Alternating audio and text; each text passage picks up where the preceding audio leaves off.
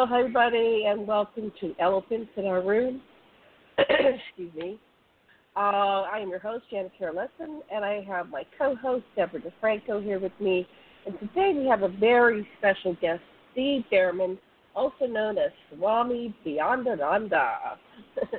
I'm sure you've seen him on YouTube and other places. He's an internationally known author, humorist, and workshop leader for over 33 years. He's written and performed as Swami Beyondananda, the cosmic comic, and his comedy has been described both as comedy disguised as wisdom and wisdom disguised as comedy. And Marianne Williamson has called him the Mark Twain of our generation. So I'm not going to read all this stuff about Steve, Swami Beyondananda.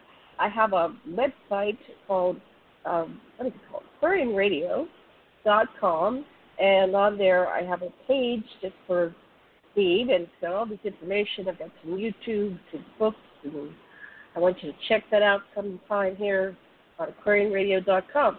So before I bring on Steve, I want to make sure Deborah joined us on the show. Welcome, aloha, Deborah. How are you today? I'm in Maui, aloha. Hawaii. That's why I say aloha. and, and Deborah's in uh, upstate New York. How you doing today, dear? Aloha, everybody. Just you know, yeah. happy Thursday. Happy Thursday. okay, so Steve, um, let's have you come on and tell us about yourself and your work and your comedy, and um, let's lighten up this day. I've had a heavy day. I. Let's lighten it up. first or the first part of the month. Go ahead, take it away, Steve. Okay, well, thank you so much for having me on your show. I remember you from many, many years ago, uh, maybe when we were in Hawaii or maybe it was in LA. And um, I mean, there's a lot to say. Um, my my background originally is in political science, although I have to admit that I never got quite so far in that that I actually got to dissect a politician. I never quite got to that point, but um, I've had a career. I've had a career yeah, we don't we know what they're like, you know. Oh, there's no guts. Oh my God, there's no heart. Ah, anyway, but but anyway, um, but for the last uh, 33 and the third years, I just celebrated my 33 and the third anniversary doing comedy as a Swami, and so now I'm officially long playing. Uh, I've been uh, traveling the world and uh, uh, writing and performing comedy, uh, being in the material world there's plenty of material. Uh, given our current political, the new word is shit, situation. We have a situation. There's a lot to uh, laugh about, and there's a lot to um, many, many good reasons to use humor to brighten our hearts, to give us courage, to give us insight uh, as we go through this very um, challenging passage that uh, that we're going through right now. So, um, whatever it is, uh, comedy will help because it heals the heart, it frees the mind, it um, gets us away from our dueling dualities, and creates, uh, takes us out of the head, puts us in our hearts, and reminds us of the uh, enduring power of love, joy, and laughter. Uh, and particularly when we're in uh, situations that are challenging to us uh, physically, emotionally, mentally, and spiritually, when you have this perspective of being able to laugh at it, it gives you uh, it gives you leverage. I'll, I'll tell you one quick story, and then I'll, I'll turn it back over to you. Um, in okay. his book, "Man's Search," book "Man's Search for Meaning," um, Viktor Frankl writes about being at a Nazi death camp during World War II. Uh, a one of the most dire uh, conditions you could ever imagine. And while he was there, he and a fellow inmate made a pact that every day they would find something to laugh about. Because if you're able to laugh when all else has been taken away from you, there is still that spiritual reserve that can't be captured. There's a certain dimension of freedom that you retain if you're able to laugh at your situation voluntarily. And to give you an idea of how powerful humor was in this situation, one of the jokes that actually circulated among the inmates in the camps involved these two Jewish guys who decide that they are going to assassinate Hitler. They know Hitler's motorcade is going to pass a certain intersection at 11 in the morning, and they're waiting for him. They show up 11 in the morning, he's not there. 11:15, 11:30. When he's not there by 11:45, one of the assassins turns to the other and says, "Gee, I hope nothing's happened to him." yeah, that's cute. That's cute. Yeah, That's the power we of really perspective. need to learn. Well, a lot of people think we're in hell right now, so we need to find. That's how we stay free, is if we can laugh even at the most dire situations. So, You know, it's how did the, the it's yeah? Go ahead. I just had one one one thing to add to that. You know, there was a book uh, where I read I read about that uh, story in a book called Laughter in Hell: Humor and the Holocaust, and it talked about the uses of humor during those very dark times. So, um, as Winston Churchill said, if you find yourself in hell, keep going. There's something at the there's something at the other end of that, and so. Um, we are in a very hellish situation. Although Swami, my, my character Swami, doesn't believe in hell. He believes in heck. Um, heck is a state where things are just mildly irritating, persistently mildly irritating, like like crappy coffee or being stuck in traffic or sitting next to somebody who has horrific perfume uh, on a long, long intercontinental flight. So um, one of the ways that we deal with this um, hellish situation is that we create a degree of separation from whatever it is that's bothering us by cultivating the perspective of humor. Right. so what do you do when you're yeah. What the heck? Yeah. Well they have a I have a coffee mug now and it's got a bird on it and the bird has, you know, WTF with a question mark, you know, it's like a really stupid looking bird. So um humanity is full of cartoons and, and how you know, how to make fun of things. Look at all the political cartoons. And they seem to, when you have a political cartoon you can get away with it. So what what do we do you coop out like COVID and the upcoming presidential elections? Let's just go a little roundtable here. What do you think of all that?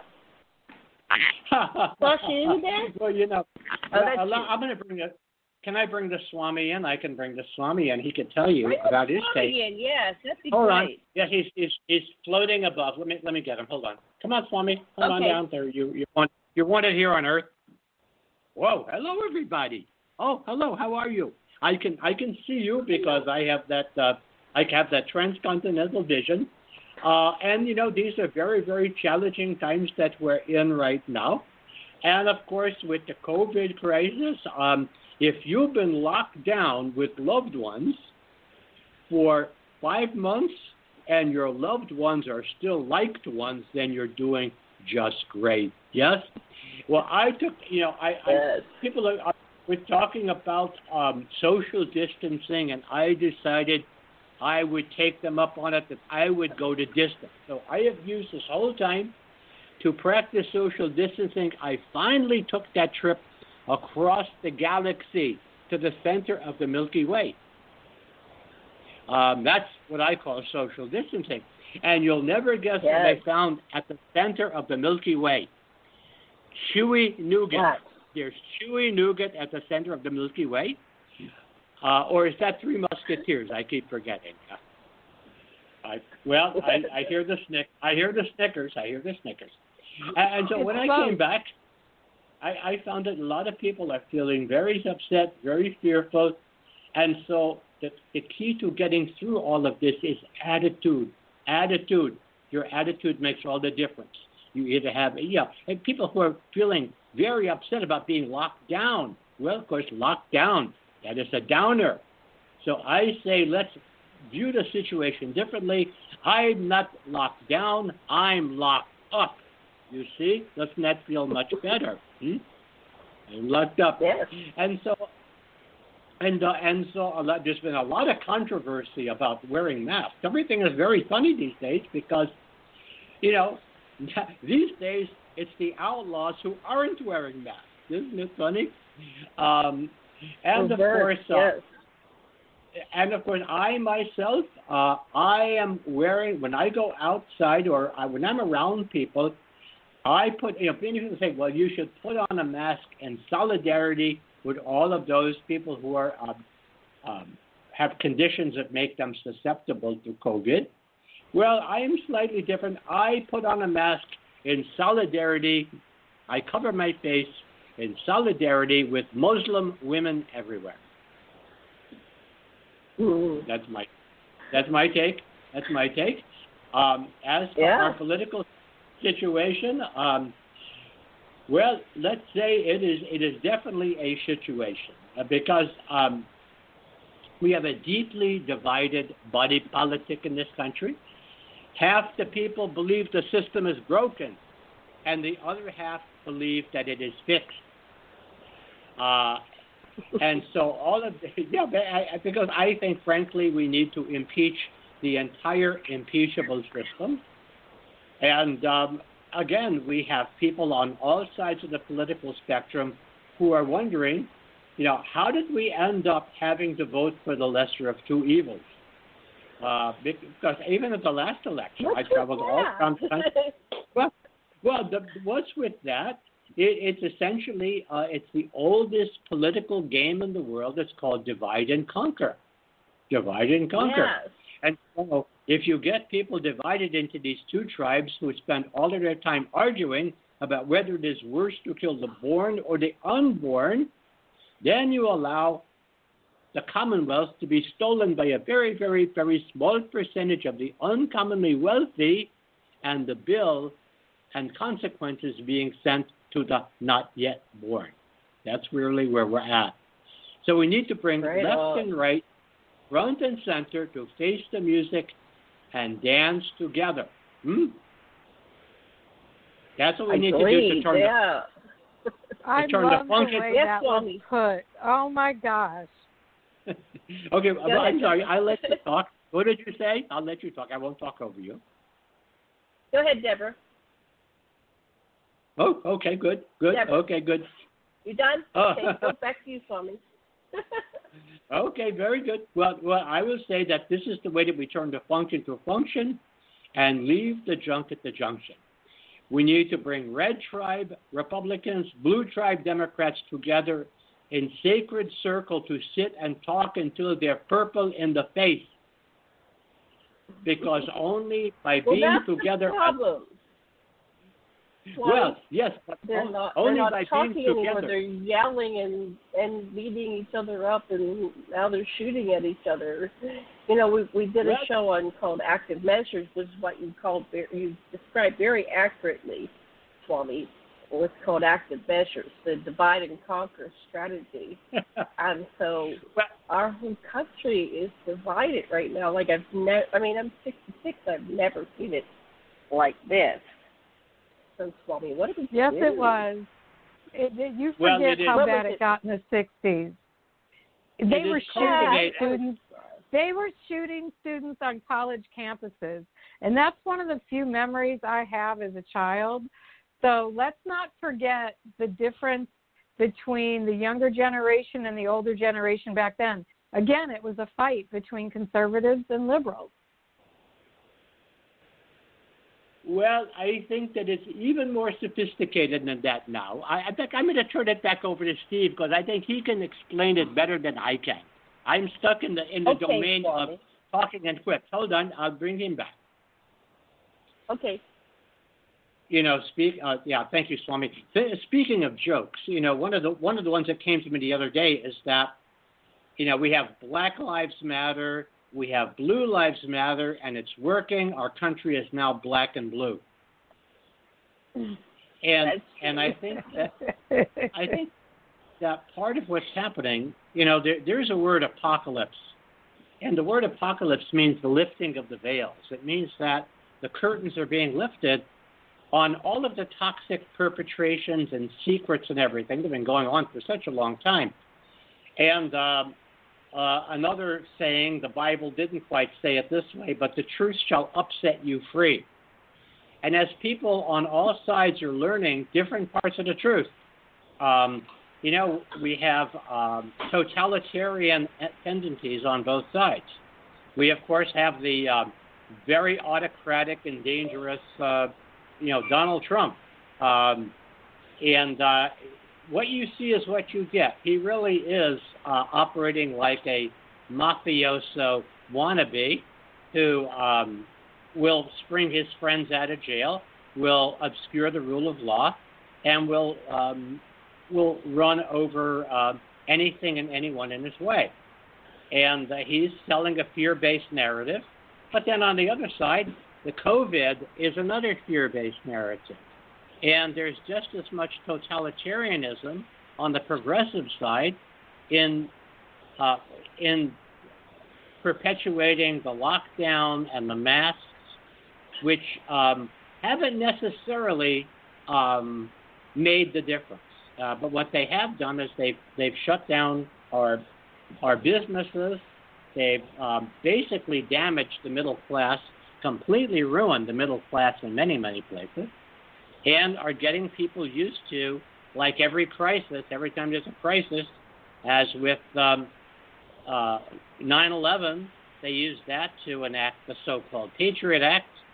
Um, they used that to um, create surveillance against the American people. And it seems like if we're looking at this from the higher view, from the meta view, beyond the two political parties, it certainly seems as if this crisis is being used as a way of controlling the population. So, uh, right. So, like what is real then? So, what so is Steve, real? What's real then? Because you know there have been plagues since the dawn of time and this strategy of uh, wearing masks and social distancing has been applied in previous plagues. Uh, you know, we have people saying this is science and this is science fiction. So, how does the average person determine? And that's part of the divide and conquer. Mask, no mask. A vaccine will work, work, and the vaccine is going to you know, turn you into a board. There's all this information and disinformation, but how does anybody determine what's truth, and it all controls the population because it's all trying to tell us what to do and what we should do and when and here, how and why. So, what do you well, think? That's Steve? really that's really the that's really the big problem. The big problem is that there are truths and lies on both sides, and when people polarize the way that they've been polarized, um, and yet people don't really want to be that polarized. There's truth and lies on both sides, and um, when people are polarized, they buy an entire package, some of which is true and some of which is not. So if you want to, um, if you want to dismiss somebody's point of view that might have some truth to it, you make sure that there's plenty of disinformation in there, so that the people look at the disinformation and say, "Ah, well, everything that that, that they're saying has to be not true because of this piece of disinformation that's been planted there." Um, the word, the term conspiracy theory was popularized uh, in the late 1960s by the CIA to discourage people who were um, poking around um, uh, uh, the Kennedy assassination and finding uh, reasons to disbelieve the Warren report. And so, if you're able to call something a conspiracy theory, then uh, people, well, it's just a conspiracy theory, just those paranoid people. Now, there are conspiracy theories that are totally crazy out there, but many of them have a grain of truth. And then when you take um, when you take that that truth and you expand it to have enough lies, then you're able to dismiss any truth, any kernel of truth that exists. Let me give you uh, here, here's an example. Uh, a really good example is this QAnon movement. Um, some right. of your listeners might might be familiar with that. And and the whole theory behind it is that there is there are these um, and again it's very anti-progressive. It, it, it, you know the progressives are engaging in um, the elites are engaging in pedophilia, et cetera, et cetera, et cetera, et cetera. And right. um, Donald Trump is secretly a good guy, uh, which again it stretches belief. And um, um, I, I mean, yeah. I don't, I'm a very proud Democrat, and I don't like Donald Trump, and I, I speak it up and I say it, and I, I hope that they. I I can't know. I even think believe you said Trump. Mars. I can't even believe you said Trump and good in the sense like you were able to keep like from dying laughing.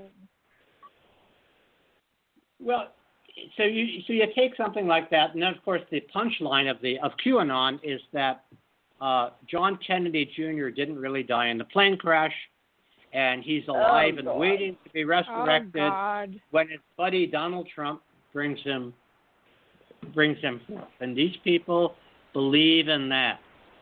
Now Oh, the kernel geez. of truth How did he? How did he not die in the plane crash? Where, where's he been? Is he with Elvis? I'm not I'm not defending that theory. No, you know, he's but- with um Ken Lay, George Bush's friend from Enron. They're on an island somewhere together. Yeah, well, probably you're on separate islands. I, I do believe Ken Lay probably uh, is getting laid somewhere uh, and not laid to rest either. Um, but I, th- I think that uh, so what happens is what happened with that um, is that there's a kernel of truth to it. Here's a kernel of truth. Um, I've spoken to people who've been involved in uh, clandestine operations, who've been involved with our American government, and I've had a number of people say that um, pedophilia and uh, things like um, um, the island that Jeffrey Epstein would take people to, one of the purposes of that is blackmail. So let's imagine that you've just been elected to public office, you get invited to something like the Bohemian Grove, or you get invited to fly with Jeffrey Epstein to his island. You get there, you're feeling very like, oh my God, I'm somebody. I'm somebody. I'm on this big plane. They've taken I'm me on to the plane with thing. Jeffrey. Yeah, yeah, yeah, yeah, exactly. Yeah, I'm on the plane. On a, it's not a higher plane; it's a lower plane, and uh, and and so you're with you're with underage children, and photos get taken. And these photos are in reserve to make sure that if you stray from um, the the line that uh, that the people who really run things um, are want to want to perpetuate, then you'll be stopped. You got to wonder why Right. is it all of the public will um, to end the corruption in this country? Why doesn't the corruption end? And what I believe in this is only on my them. opinion. It's only my opinion, but they have something on those people. One of the people that I spoke to a number of years ago, who was involved, he he was in the government, and and who told me about these things. He says the reason why Paul Wellstone died in that plane crash was because they didn't have anything to blackmail him with, and so you know they figured that was a, and that was right before uh, that was in 2002, uh, right before the vote in 2003 to go to war in Iraq. Um, so you'll remember there was the anthrax scare, there were all of these things. And most people in this country, and, and particularly most people who identify as progressives, they don't want to believe that there is such a level of evil uh, in our own government. It's too uncomfortable. It's too um, hurtful, and people don't want to imagine that that kind of thing could could happen. And so, consequently, uh, we've had uh, in our country since the end of World War II, we've had what I call a "don't ask, don't tell" policy. Um, our government, uh, we promise not to ask our government what it's doing to quote unquote protect us, and they promise not to tell us. So we've had perpetrations like the Kennedy assassination, both Kennedy assassinations, Martin Luther King assassination, um, 9/11, all of these things that um, I can't tell you in any of those cases what what actually happened, but I can say with pretty much certainty that what didn't happen was the official story. Let me let me break that down, Steve. This this is all good what you just said. Good stuff. Okay. So these are all what we would call conspiracy because uh, I don't I don't see it so much as don't ask, don't tell. It's like uh, we're going to shame you. If you believe that, then you're just a conspiracy theory person. So it, it, yeah. at first it was like that they confused. Oh, that's a conspiracy to shame you. Now you see how it's kind of Orwellian style now QAnon and that conspiracy has been turned around. Now that's a good thing because they're going to let the that lady from the blonde lady or what is it, the dark haired lady from the south, and she's a QAnon person. So now conspiracy is a good thing. So they always reverse double speak everything and twist it around. And then, oh, did you know that they ha- that the to become pope you have to kill babies? You have to eat them too. Yeah. So there's all these things out there, right? and this has been going around for years. So people who are in the know, I wrote this down. They're they're they're proud of themselves. I know what it is. I'm in the secret know. I have conspiracy, spirituality, spirituality. Yeah, like it's it's like a new religion. That my new religion is conspiracy stuff, and I'm conspiritual, and I'm conspir and I have spirituality. So, so that's a problem there because that mixes up people. There's so much babble. Nobody knows what's real anymore. And so I used to follow conspiracy. I used to think I was in the know. I've been into ufology since, you know, I was a child back in the 60s, Betty and Barney Hill. So I thought, oh, I'm in the know, and those people don't know what they're talking about. And, you know, and each religion thinks I'm in the know. I have Jesus, I'm in the know. I have Buddha, I'm in the know. I have, you know, Muhammad and the other person doesn't. So it, it's like this um, polarization of religion. And now we're back to okay. I'll, I'll bring it back to you. Go ahead. You said well. Go ahead, Steve. Take the talking. The more, the, the more, um, the more fear, the more people want to cling to certainty, and so people will find a certainty that fits their narrative. The QAnon narrative fits uh, fits those people who are suspicious of any, you know, why are they against, um, um, why are they against vaccines? Because in certain vaccines, um, aborted fetal tissue is used. And then that plays right into the abortion thing. Um, you can mm-hmm. find videos that show, uh, that look at Hollywood movies and take all of these symbols as um, uh, symbols of um, um, Satanism, etc., etc., etc. And and many of these I've looked into some of these stories, and some of them are quite convincing. And I'll give you an example. Mm-hmm. Several years ago, um, a friend of mine who I've known for many years, who's a you know solid citizen and trustworthy individual, she told me a story. She grew up. She's probably now maybe she's 60 now. She's about 60 now. And she grew up in a, in a military family in the United States. And when she was a girl, um, they would go, the children would be sent to these sessions, and she doesn't remember much about them, but she felt like they were there was a some kind of a brainwashing going on and then when she was mm-hmm. about 12, um, she and her brother, who was close in age to her, were sent down to the basement, um, told to pull their pants down and just wait. And a military, American military officer came in, um, and he was supposed to have his choice of which one he wanted. And he wanted the boy. And her brother um, was uh, violated, and he later committed suicide. Now, she's telling me something that her father was involved with. Her father, um, mm-hmm. who she's been estranged from for a number of years.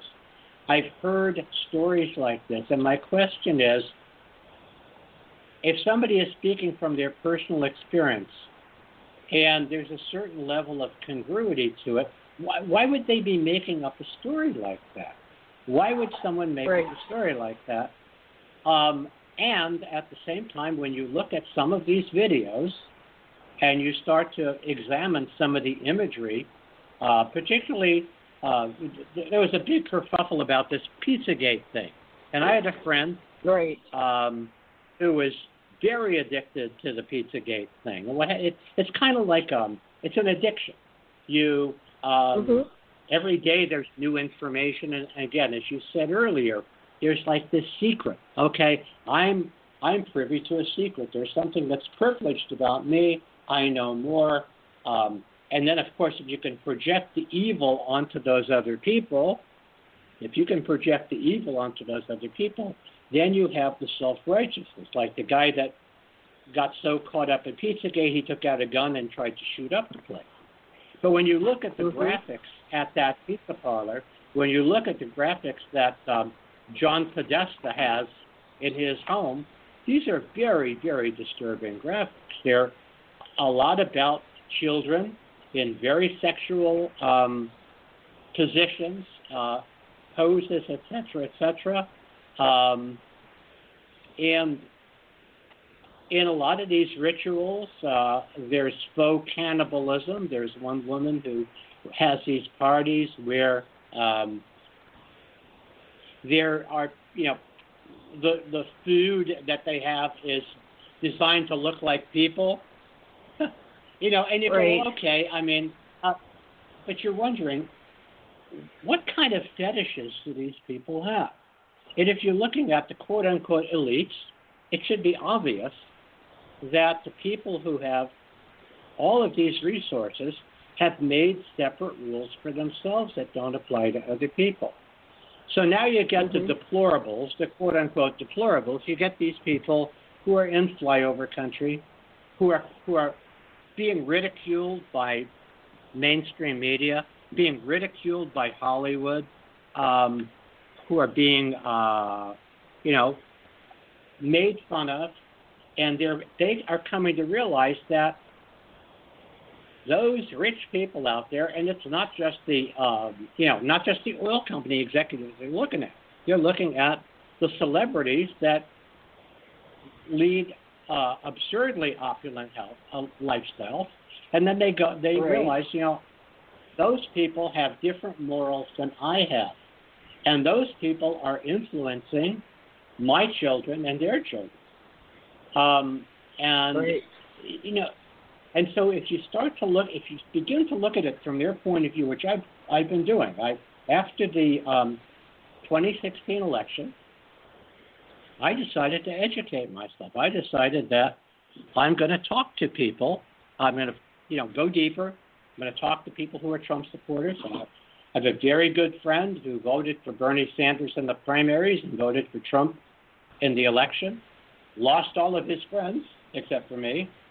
Uh, he was one mm-hmm. who was following this piece Pizzagate. Um, he has since said, I've given up all addictions, including that.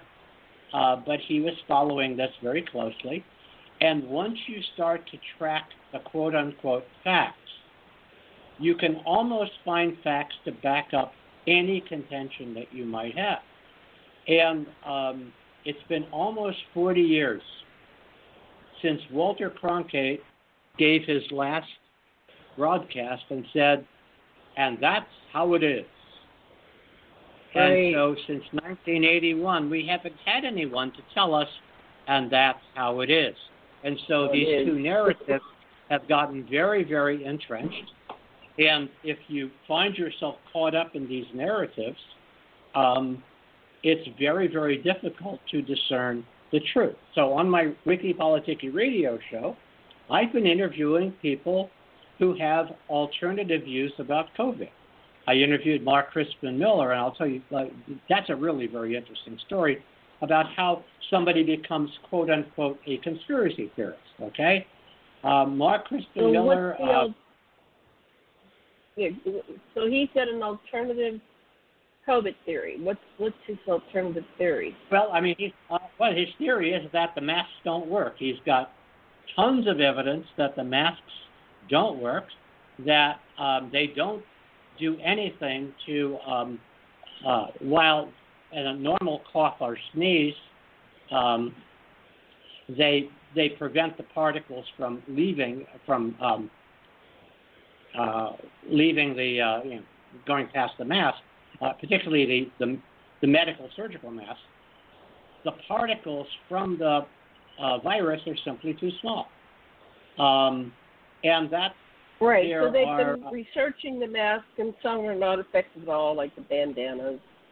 And so that was at first they were just scrambling because nobody knew what to use.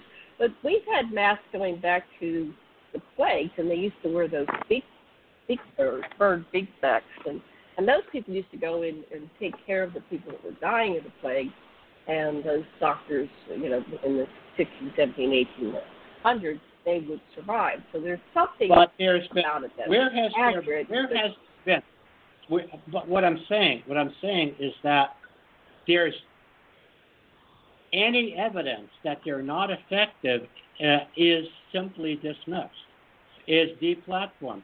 I I know people who have had their here's an here's an example, not about the mask, but about something else.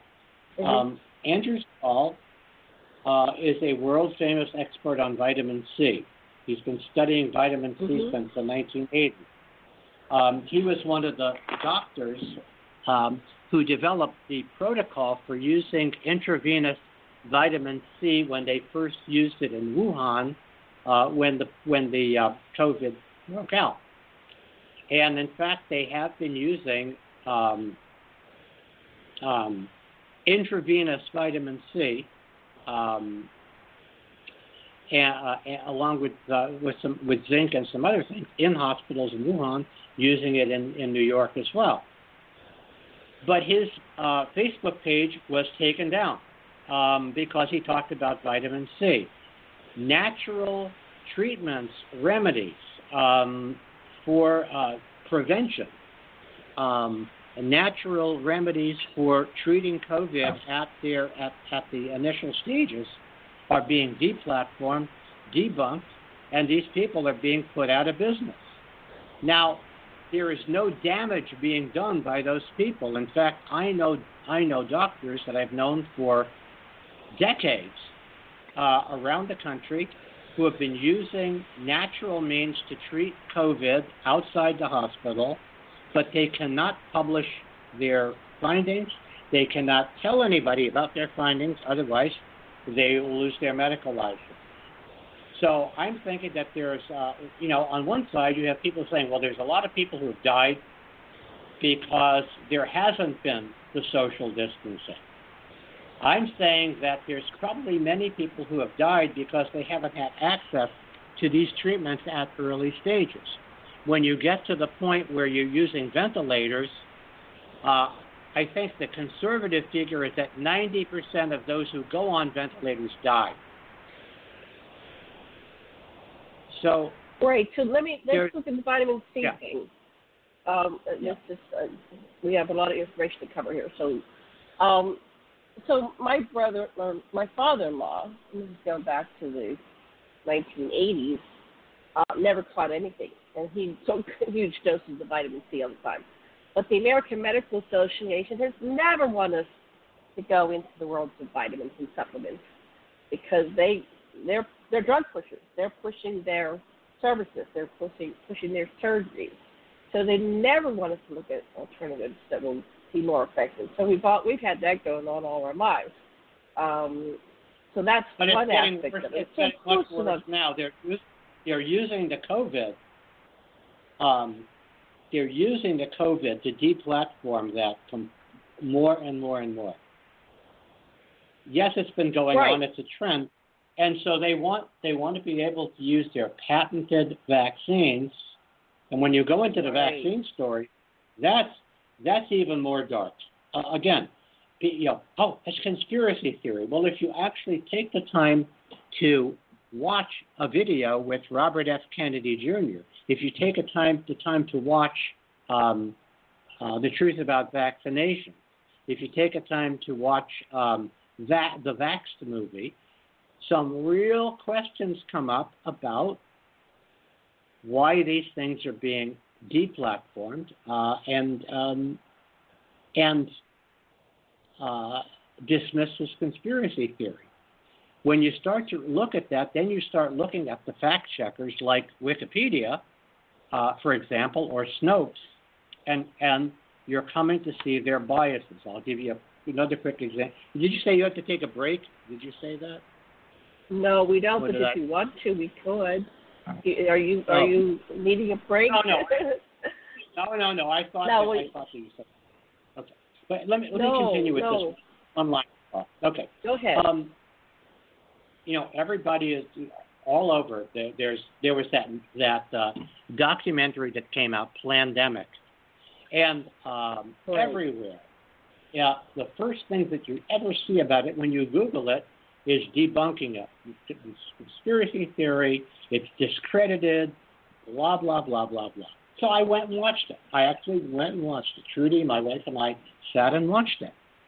And Mhm. um, one of the one of the things that the fact checkers said was not true. She said that she was um, arrested without a warrant and no charges, and they debunked that. They said it was untrue. And then they showed an Mhm. actual photo of the um, arrest report. There was no cause listed, and there was no warrant. So what happens is people who um, well-meaning people, and these are all my friends, and I'm one of them. I'm, I'm a progressive. I'm certainly part of the progressive tribe. Um, they're told that this stuff is conspiracy theory, and they, you know, of course, if if, it's, if Donald Trump says hydroxychloroquine is an effective treatment, it's got to be wrong.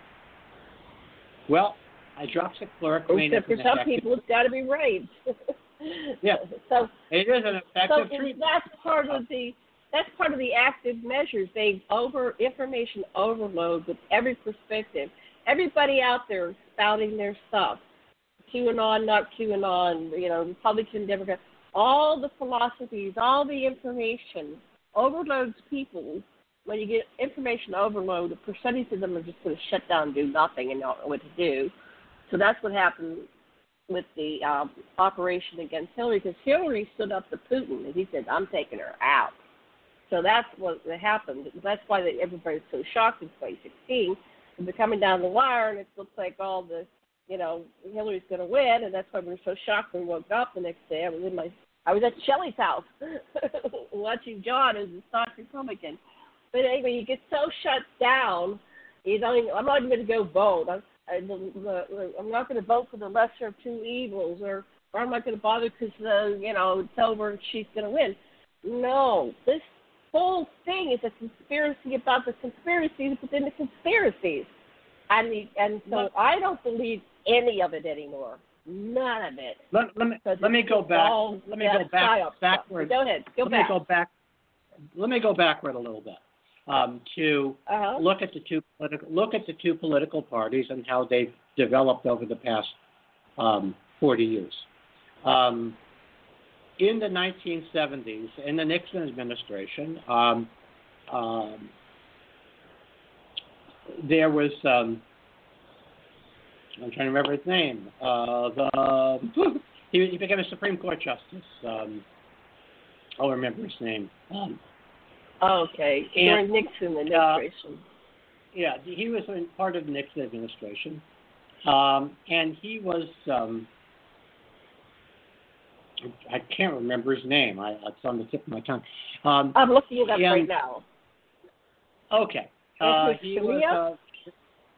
Uh, uh, no, no, no, no, no. It was. Earl um, Warren? was- Warren let's go back. Um, the something report. Oh no, no, no. It wasn't. Oh, I hate when this happens. Um, I maybe the too. anyway, um, he was hired by the. He was a tobacco company uh, lawyer, which tells you, which tells you where he was coming from. Um, Right, And yeah. hired- and so he uh, went to the American Chamber of Commerce, and he said, and this is right after um, Earth, the first Earth Day. It was right after Nixon actually signed the um, um, uh, Environmental Protection Act and created the EPA. And um, he wrote this report essentially warning uh, big business that regulations were, were going to kill them. And so um, what happened over that next 10 years from, from the Nixon, Nixon era to Ronald Reagan's election as president in 1980 is that there was a very, very, very, very well funded campaign to discredit government. And, you know, the famous Ronald Reagan saying was um, uh, the, the most uh, frightening words you can hear I'm here for, I'm, I'm from the government, I'm here to help you.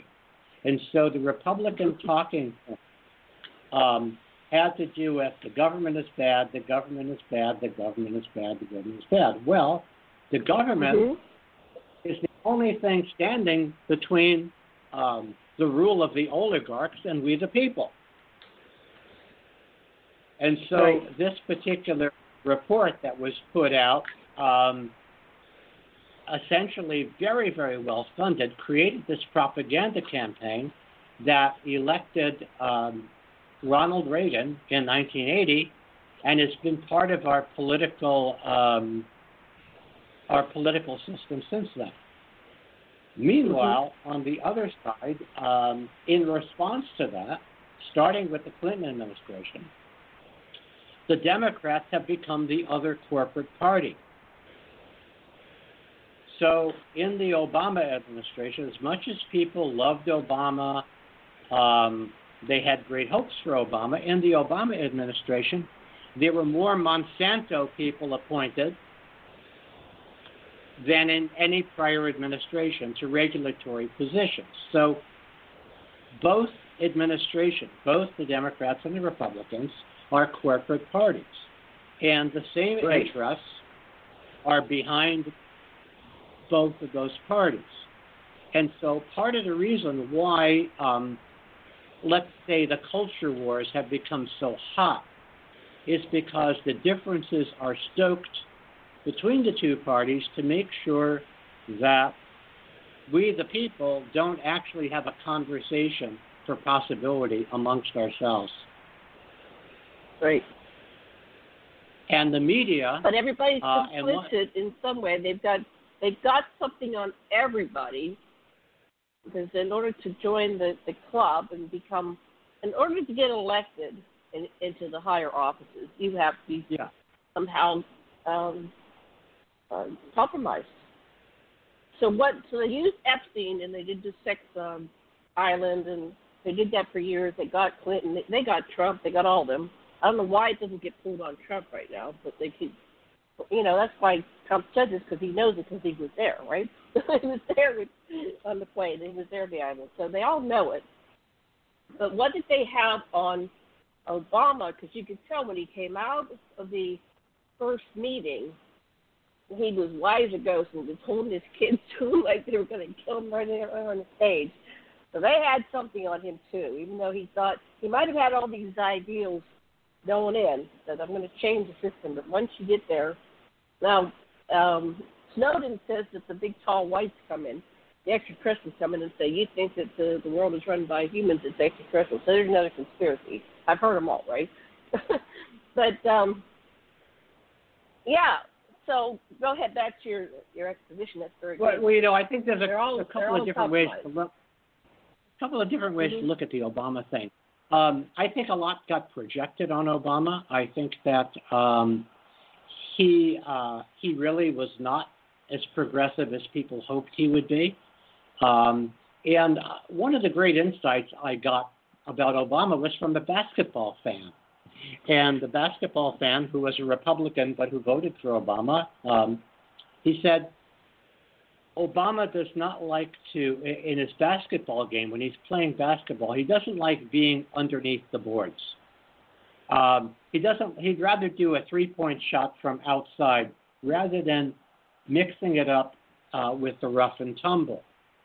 Um, during his administration, I, I heard a talk by um, the guy who wrote a book about uh, Obama and the banking industry, one of his friends. And he said that throughout the entire Obama administration, his staff would give him books about um, Lyndon Johnson, would give him books about uh, Franklin D. Roosevelt, hoping that that would spark some courage, that that would spark some desire. But there was not, in, in the entire Obama presidency, as articulate as he was, I cannot recall any courageous act, any act of stepping out and being a leader and saying, I'm stepping out and doing this. And I'm calling on my people, all these people who supported me, who voted for me, who followed me, who worked for me. I'm calling on you, like Donald Trump is calling on his people. And Obama had a lot more people to call on than Donald Trump has in his cadre. Obama never used his bully pulpit, and he never stood courageously for anything because of who he represented.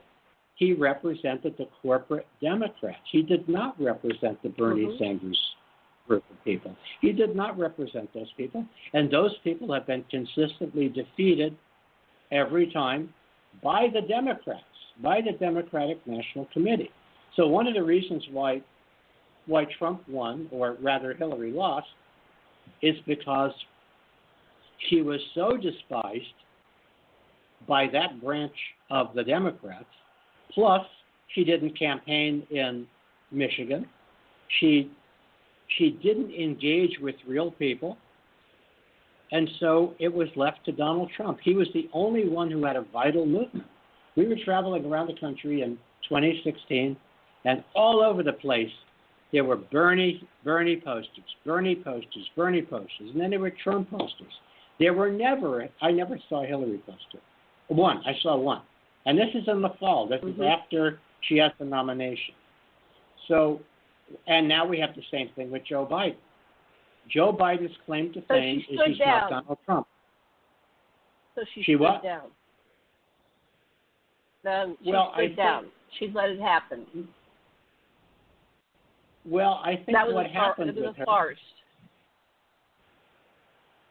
She stood down. Is that what you're saying? Yes, she didn't let it happen. She didn't. She didn't follow through. She let it happen. Something that there's what my insiders and my conspiracy people say is they already know who the president's going to be and they know who's going to be for the next 50 years. You know, they they can time travel into the future. They know. They told um, at a meeting. They told um, what's his name, um, Bush, yeah, or um, Bush Jr. They said, You're going to be the President of the United States. And he was going around this dinner party saying, Did you hear that? I'm going to be the President of the United States. You know, so apparently, uh, and I have another person, George Green, who, died a year ago in, in June, and he's an insider. And he said, Yeah, I was meeting in the, in the big meetings, and we were making, you know, how we're going to do derivatives and how we're going to take down everything. And, um, and they said, well, you're a very smart man. We'd like you to be the economic advisor for the next president. He goes, what do you mean for the next president? Who's the next president? And they said, Jimmy Carter. I said, well, how do you know it's Jimmy Carter? Oh, there's no real elections. We know who's, who's going to be the president. You know, it's already been decided. Well, is he a Democrat or Republican? Well, he's a Democrat. And, and George said, I'm not voting for a Democrat. I'm not working for a Democrat. So there's that story, that conspiracy within the conspiracy. And so there's, you know, it seems that they were backing this, and then all of a sudden Hillary just kind of slowed down and didn't do much, and let it happen. Well, slowed down. Well, well, I don't know. I mean, and again, I, I have no insight into that, but I will say we that, know nothing. that the, the Democrats have have not fought for the elections. Um, here's here I want to tell the story earlier about my friend Mark Crispin Miller. Uh-huh. This is how one becomes a, a conspiracy theorist. So Mark, um, he's a he's written for the New York Times, you know, fairly well known journalist, mainstream journalist, written books. Uh, he still teaches uh, at NYU uh, journalism department, and uh, in 2005 uh, uh, he published a book called Fooled Again uh, by a reputable publisher. Um, it was about how the election, how the voting machines were hacked, and how the 2004 election was stolen. And so he wrote the book, um, published by a fairly reputable publisher, and um, what happened was shocking to him. he was expecting that the left wing progressive press, um, Mother Jones Magazine, Democracy Now, all of these would pick up on on this thing. They ghosted him. They debunked him as a conspiracy theorist. Mainstream media ignored him completely. Now, imagine what happens when in your you have an actual experience of something. You've you've studied it, you've gone deep, you put out your truth, and everybody says, What are you going to believe, me or your eyes and ears? And so he actually he was in a state of shock because he got dismissed and discarded by his fellow progressives and ignored by mainstream media. And so that mm-hmm. began a journey for him of, uh, first of all, being, um, uh, well, uh, exiled in a certain regard. Because what happens is when you come when you come up with something that is, um, uh, you know, that is not accepted by the by the mainstream, your career is over. Your mainstream career is over. Mm-hmm. A good example of that is what happened to Phil Donahue. Phil Donahue, when he was uh, uh, when he came out against the um, Iraq invasion, he was the most popular uh, host on MSNBC. They fired him, just like that. Um, and then when um, oh, what's what's her name? Um, one of the one of the um, talk show hosts uh, started making noises about 9/11 might have been an inside job. She got fired. They mm-hmm. basically took her off Yeah.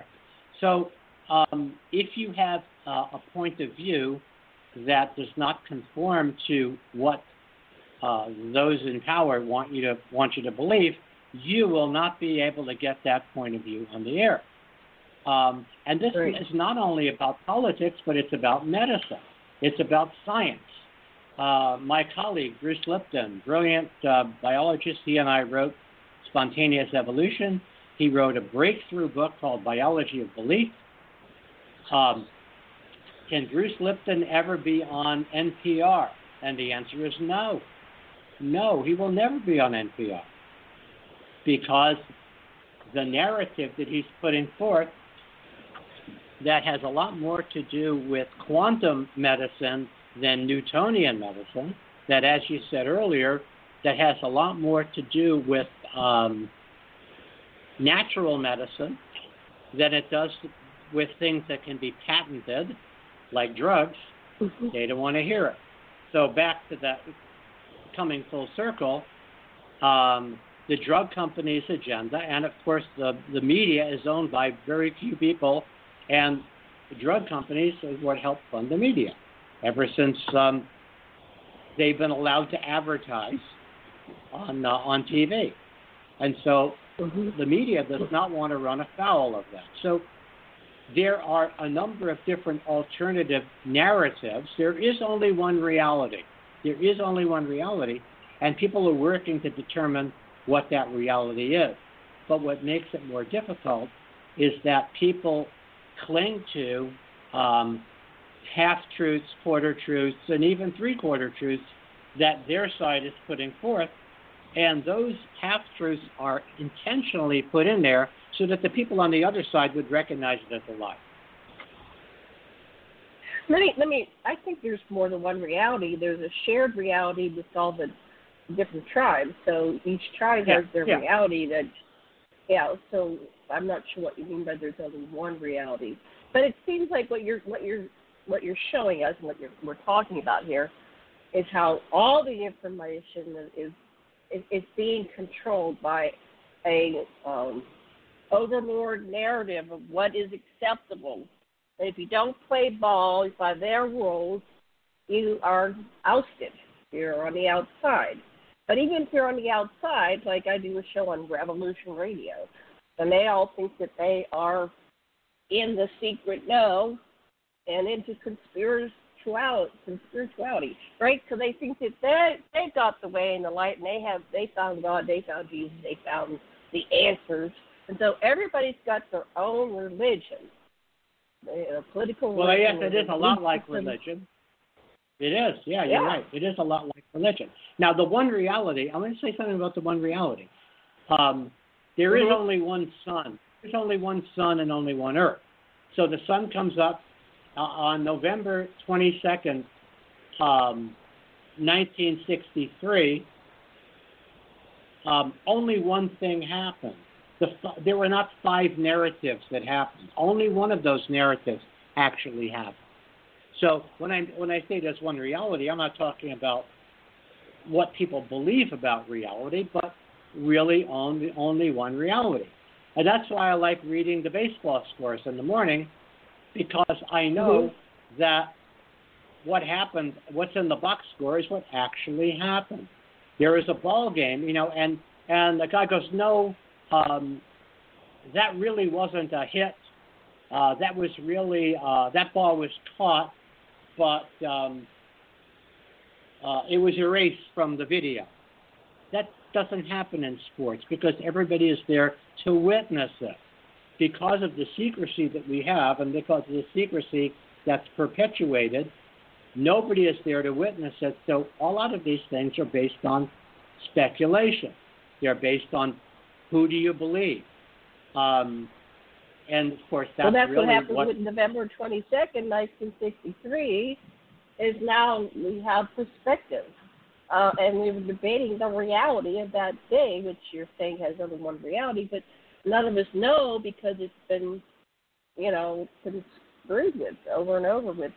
This one happened, that one happened. There's even the theories that that's a different. Uh, what is that called? Um, uh, Mandela effect. No, there was there were uh, two seats. No, there were three seats. Uh, you know, they have a uh, Connally and his uh, wife were in a second set of seats. You know, and then people say, no, that's the Mandela effect. It was only the, the two seats. So uh, uh, reality gets debated and changed. So you know, even the past is a function of the now and, and the current spin on the narrative. well, reality checks Deborah, are bouncing like quiet. crazy right now, aren't they? Yeah, yeah. Deborah, let, add your two cents. I know you were wanting to say something. I can feel you. No, no, not not at all, not at all. I I, no, I you don't honestly have. Come on. I know you have opinions I- about all this. well, I think so much of what's driving what's happening today is the power of social media, right? Um, I don't know if you guys heard, but Facebook um, just decided that no new political advertisements will be taking place the week before the election.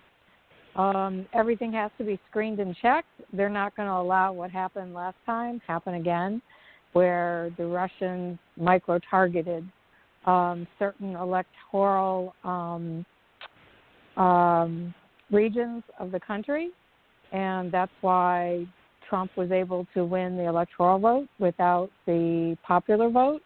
Um, so they're Mhm. trying to head the Russians off at the pass. I don't know how good they'll be at that, but you know, Facebook shouldn't be the only place where people get news.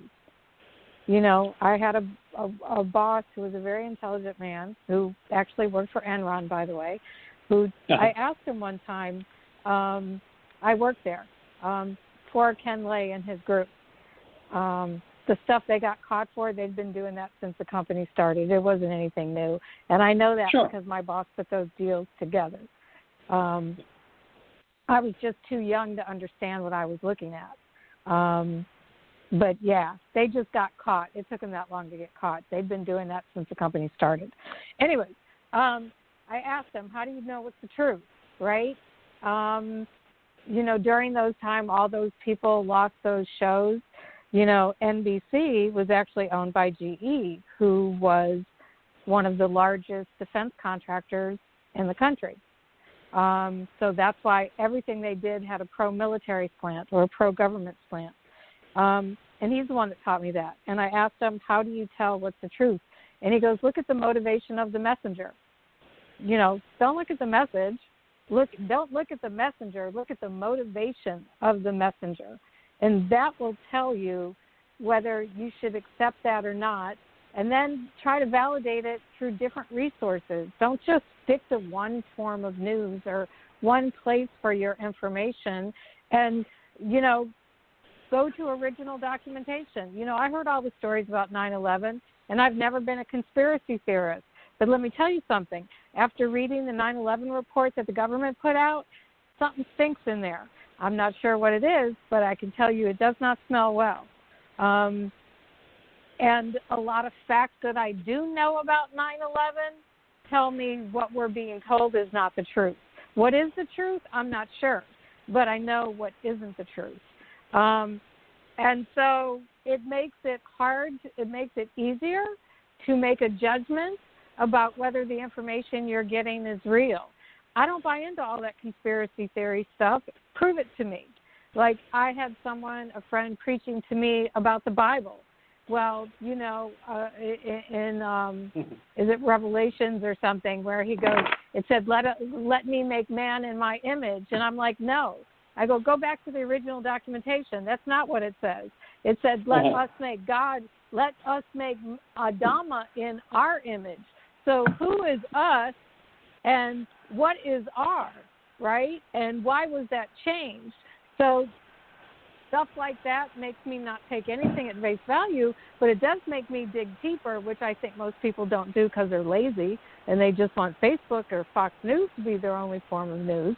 Um, but, anyways, you know, I get my news from probably 50 different sources in a given day. and I go, if I want the truth, I dig for facts. I don't just trust a news organization or a social media website because it said so. And I think most people don't do that anymore. And there was a time when the internet wasn't so accessible that people did spend time trying to get to the truth and find out. So we've just become lazy and now we're being led around by the nose. And anything that happens to us, we deserve if we don't start questioning why. And I passed the stick. Sorry, I got on a tantrum. Didn't mean to do that. No, no, that was a good. That was a very good. I appreciate what you said. I think one of the key points that you made in, in political science, there's a there's a principle, there's a Latin phrase, cui bono, who benefits, who benefits. So when you were talking about the messenger, um, what, why is the messenger giving this message? And you can get very cynical about that. You can get very cynical that obviously people are only speaking uh, out of their own um, self-interest.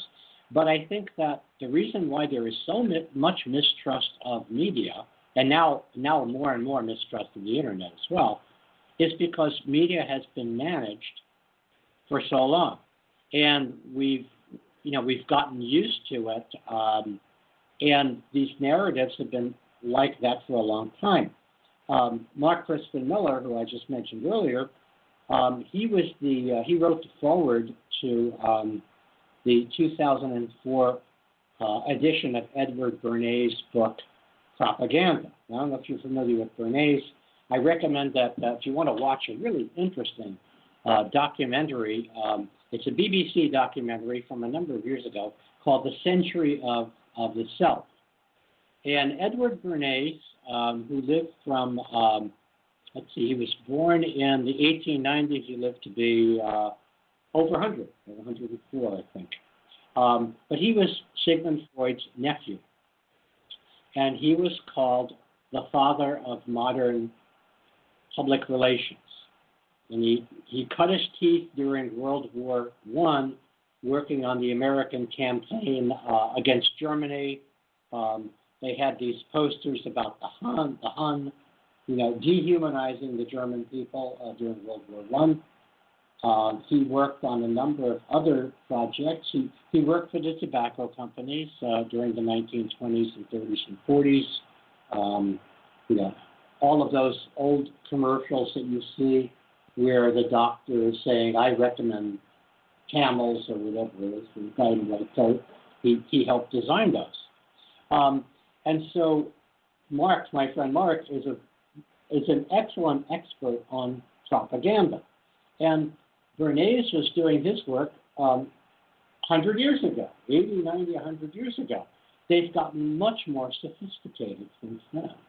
And so, so many of the things that we see, uh, you know, for example, at the, um, I think it was, it at the Oscars or the, um, one of the award shows, the Grammys or the Oscars or the one of those award shows a few years ago. Yeah. They had this big, big thing about vaccination. And all of these people came out in favor of vaccination.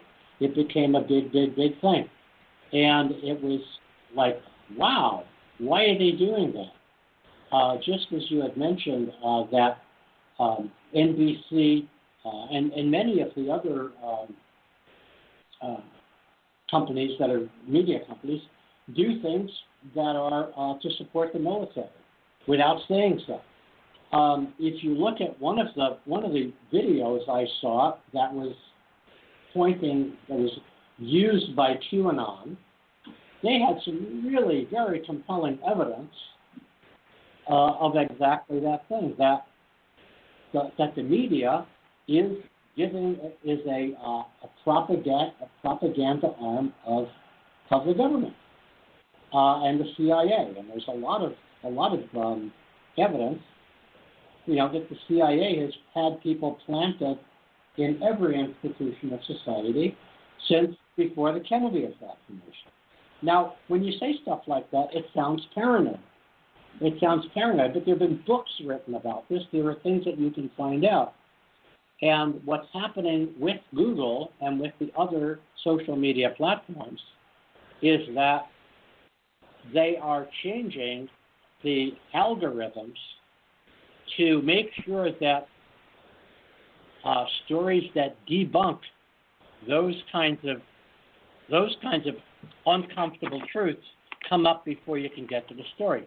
So before you get to see the Plandemic movie, um, you'll get what you Google Plandemic, P L A N D E M I C.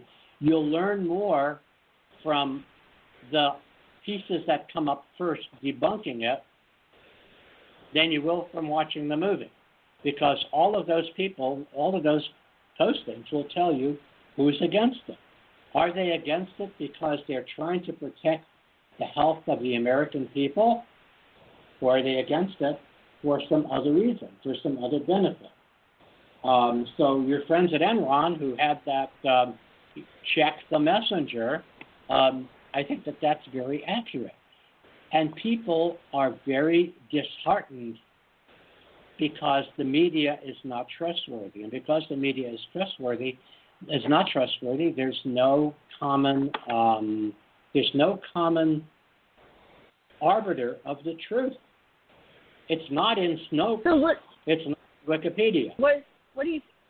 What do you think about? Do you think? I think Plandemic is just part of the vote. For, I think you put it in two parties, the Democrats Republicans. So Republicans. So Plandemic is to get people to back Trump's story, and I I don't like Trump because I don't like Trump.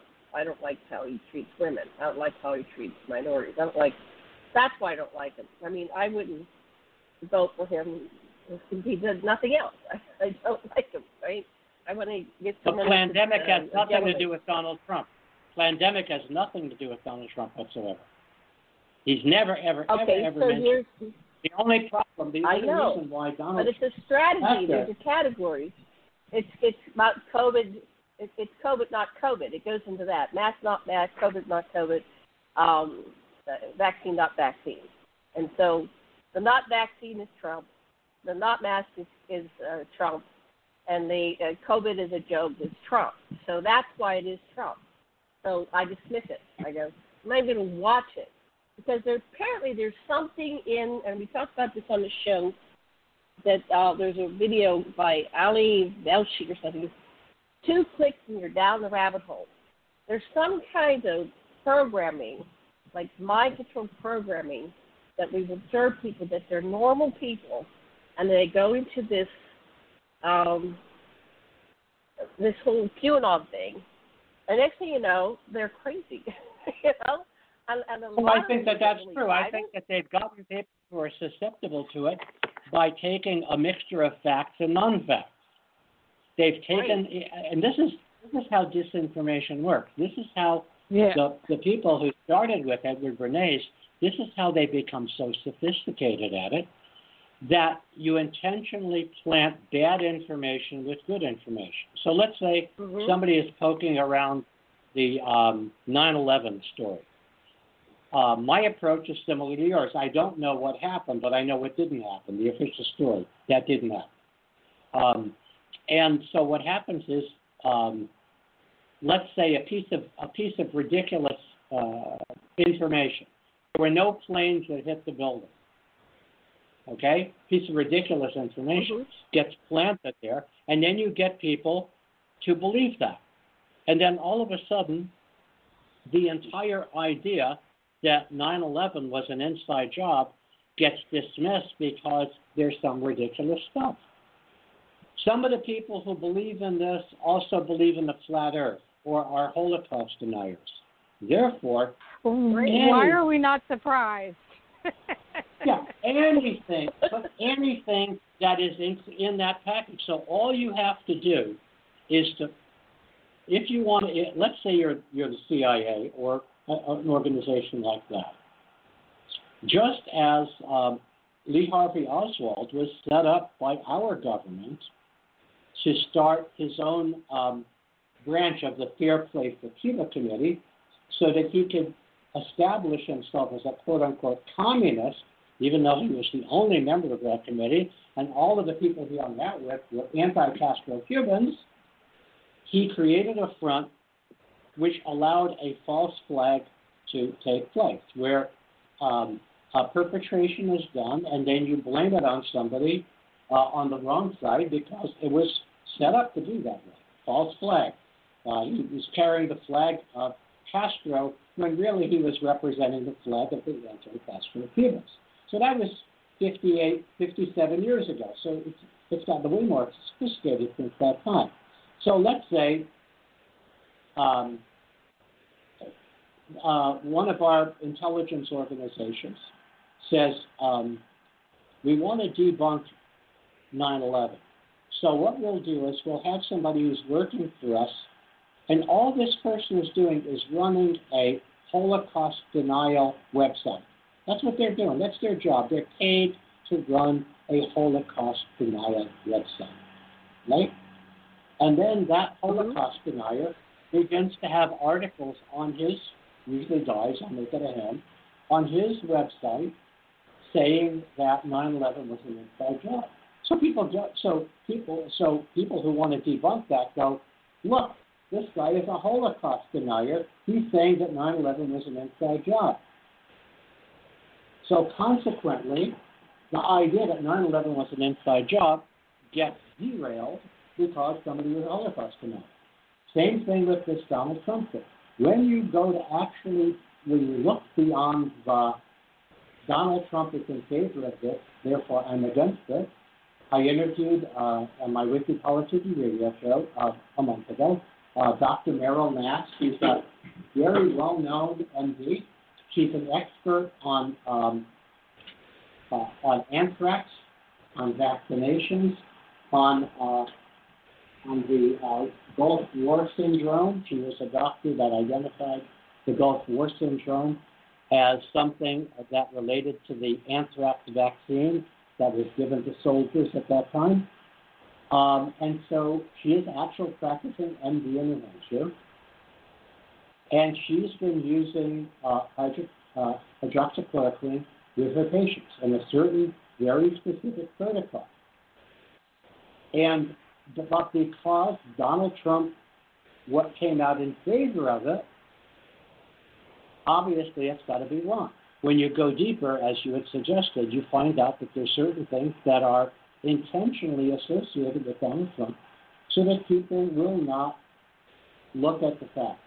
Donald Trump is in favor of it, I won't look at the facts. A Democrat is in favor of it, I won't look at the facts. And that is how people are manipulated by the silos and the narratives that they're subject to. You know, you probably know that Google, a couple of years ago, was uncovered that Google feeds you information that supports what you already believe. And that's how these these um, narratives and silos are perpetuated so that the barriers between people are uh, are up. on the positive side, I'm very happy to announce that I'm part of a new media platform called Mobilized, and our focus is to be the independent media. Our focus is to have uh, articles from all across the political spectrum um, that point point us toward the truth. Um, the guy who's running it is very uh, very much anti-Donald Trump. You know, he does not want Trump to be reelected.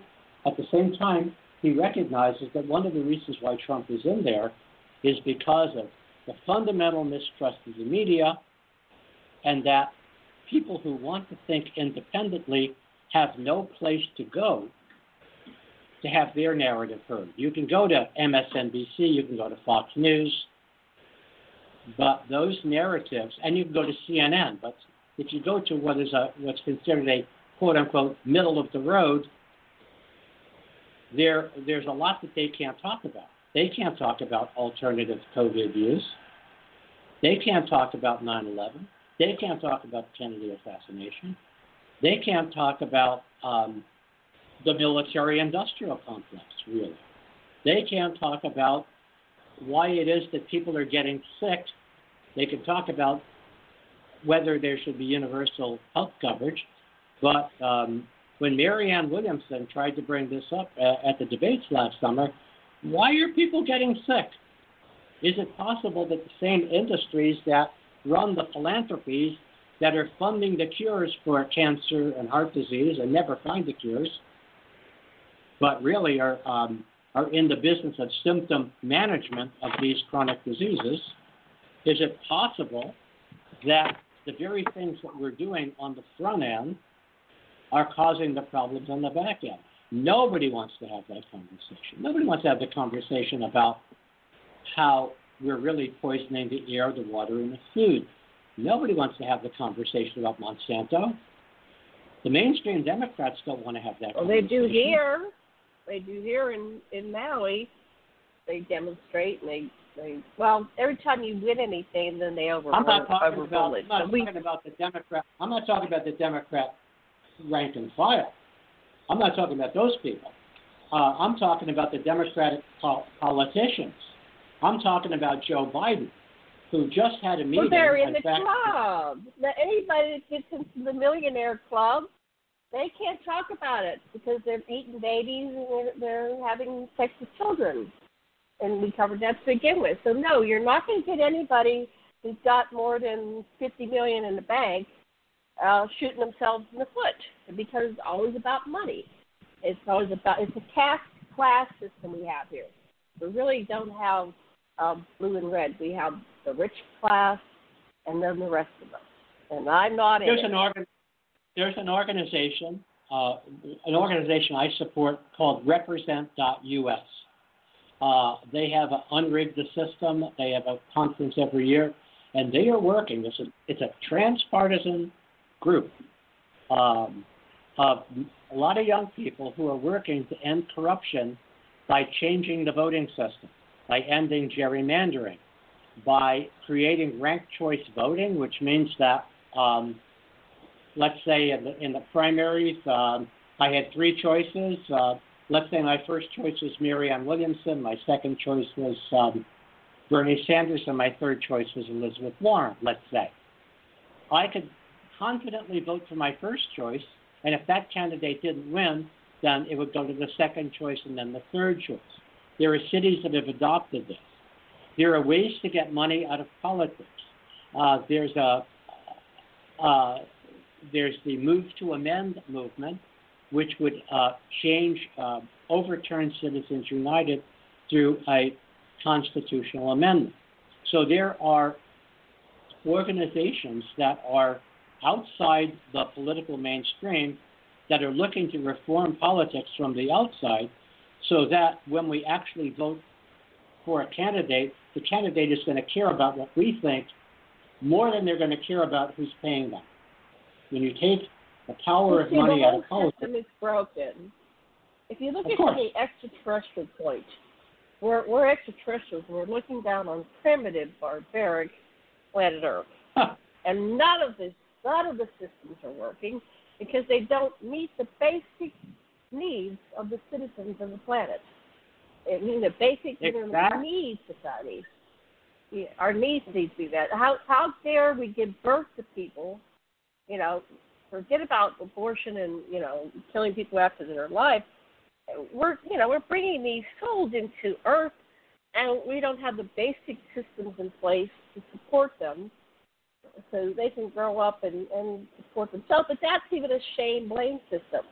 Oh, you're lazy, you're stupid. You know, everything's about shaming. It's a bully system. That's why I don't like Trump. He's a bully. He's part of the bully system, shaming people. There's no encouragement.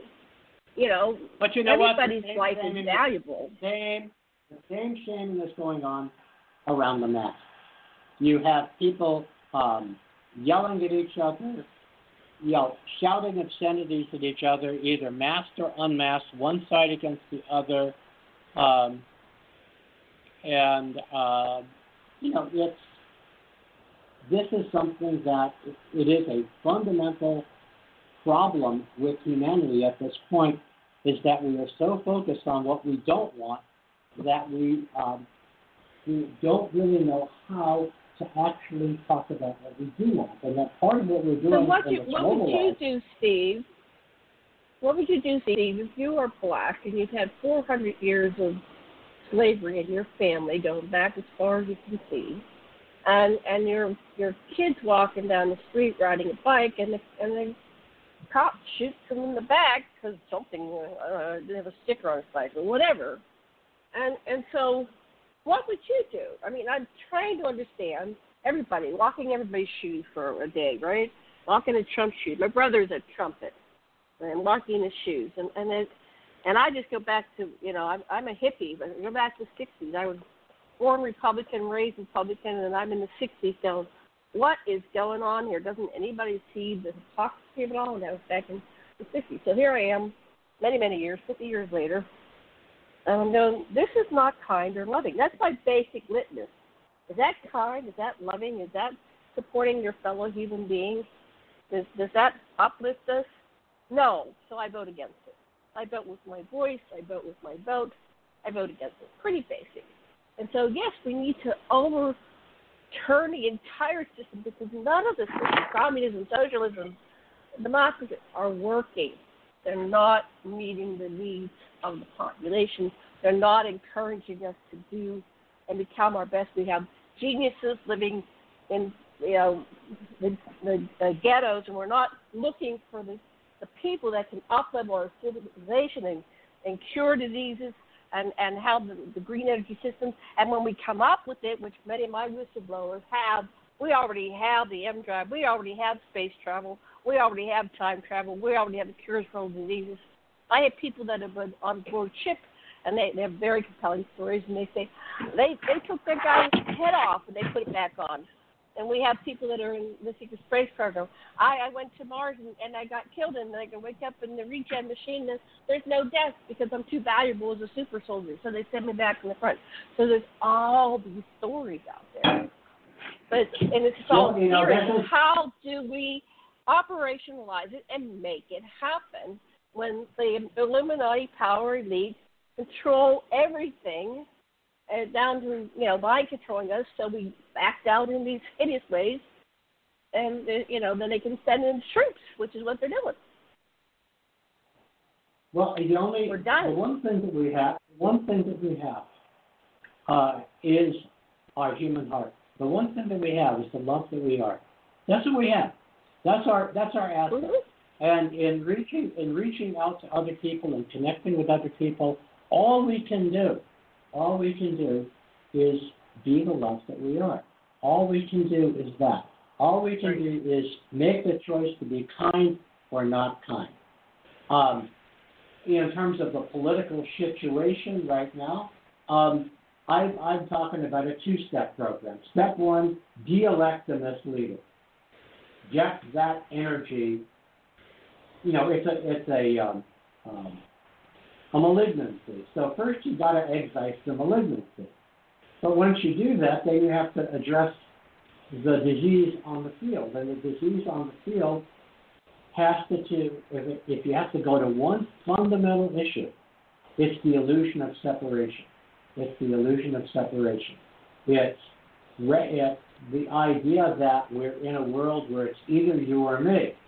And we've lived in this world of dominate or be dominated since the advent of, uh, of Western civilization, since the matriarchal societies, which were not women dominated but egalitarian, uh, since we've um, those societies were overrun by marauding hordes, we all have in our DNA. We live in a world that is dominate or be dominated. So if your if your if fear is being programmed into you, the more fearful you become, the more you buy into the dominate or be dominated program. And so naturally, you want to elect a president who's going to be a better dominator. So for those people who have been mobilized by fear, whether they've been hypnotized by uh, QAnon or whether they've been hypnotized by evangelical Christianity or whether they've been hypnotized by uh, these other toxic forces that are designed to mess with our minds, whether it's coming from another country or from this from this country, the more fear is imbued into the body politic, the less intelligent decisions are going to be made. Same is mm-hmm. happening on the left. Um, if you look at the Democrats, if you look at their choices, they've, they've taken the least courageous path. They've taken the path of safety.